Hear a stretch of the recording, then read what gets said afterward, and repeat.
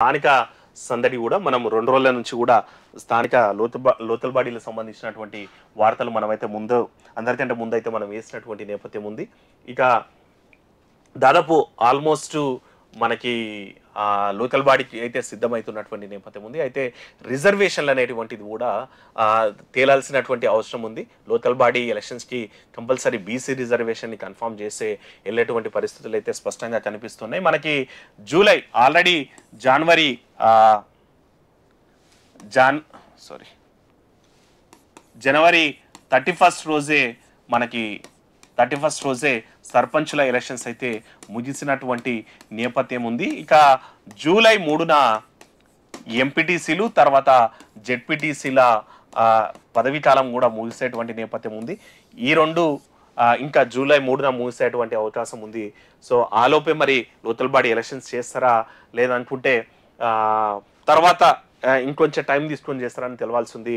Almost మనకి పన్నెండు వేల నూట ఎనిమిది వందల పద్నాలుగు జీపీలు ఉన్నటువంటి నేపథ్యం ఉందట. ఇక ఎనభై ఎనిమిది వేల ఎనిమిది వందల అరవై రెండు వార్డులు కూడా ఉన్నాయంట. ఇక జెడ్పీటీసీలు ఆరు వందల ఇరవై తర్వాత ఆరు వేల నాలుగు వందల డెబ్బై మూడు తర్వాత ఎంపీటీసీలు కూడా ఉన్నటువంటి నేపథ్యం ఉంది.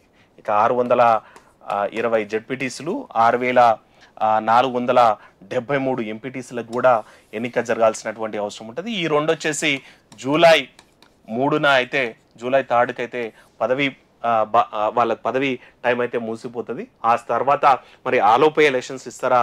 ఆ తర్వాత ఎలక్షన్ చేస్తారా అనేటువంటి క్లారిటీ రావాల్సినటువంటి అవసరం ఉంది. అయితే జనరల్గా మనకున్నటువంటి ఇన్ఫర్మేషన్ ఏంటంటే ఎంపీటీసీలది తర్వాత జెడ్పీటీసీలది అయితే ఫస్ట్ చేస్తారు. ఆ తర్వాత సర్పంచులది కూడా చేసేటువంటి అవకాశం ఉంది అన్నటువంటిది. అయితే నాలుగు ఎలక్షన్స్ మాత్రం ఎందుకంటే జీపీ ఎలక్షన్ చేసినప్పుడు సర్పంచ్ పోలట్ బ్యాట్ ఉంటుంది తర్వాత వార్డ్ మెంబర్కి ఉంటుంది. వార్డు మెంబర్కి ఉంటుంది. ఇక్కడ రెండు బ్యాలెట్లు అయితే మళ్ళా ఎంపీటీసీ తర్వాత జెడ్పీటీసీని కూడా వచ్చేసారి ఒకేసారి చేస్తే నాలుగు బ్యాలెట్లు ఉంటాయి కాబట్టి ఓటర్ కూడా కన్ఫ్యూజ్ అయ్యే అవకాశం ఉంటుంది కాబట్టి నేను అనుకుంటున్నా ఫస్ట్ గ్రామ పంచాయతీ వార్డు మెంబర్లకి ఫస్ట్ ఎలక్షన్ చేయొచ్చు. దాదాపు ఎనిమిది వేల సారీ పన్నెండు వేల ఎనిమిది వందల ఇరవై నాలుగు గ్రామ పంచాయతీలు ఎనభై ఎనిమిది వేల ఆరు వందల ఎనభై రెండు వార్డులకి సంబంధించినటువంటి ఎలక్షన్స్ ఓసారి జరపొచ్చు.